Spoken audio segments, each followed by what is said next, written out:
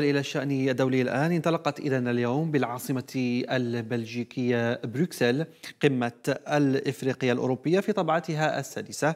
قمة تناقش أهم النقاط المشتركة بين القارتين وتدفع أيضا بتقييم عجلة التنمية على مستوى القارة الإفريقية. كل هذه التفاصيل نكتشفها في تقرير كوثر تبيكي.